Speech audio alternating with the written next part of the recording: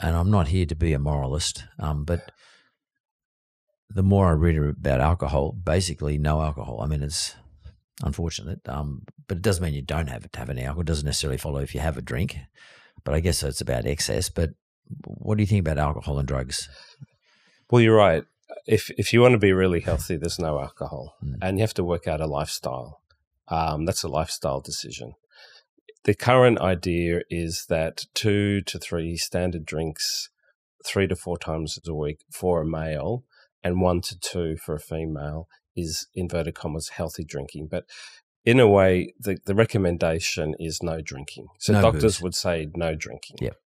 And we're looking at levels that are called healthy, but there's no such thing as healthy levels. Yeah. So you have to just take that on board.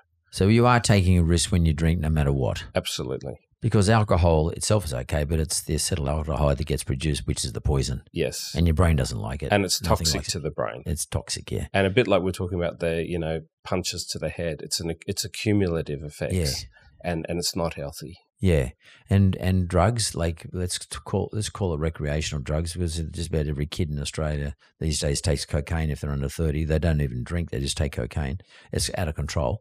Um, cocaine, marijuana, Very unhealthy. unhealthy. Yep. Again, dangerous.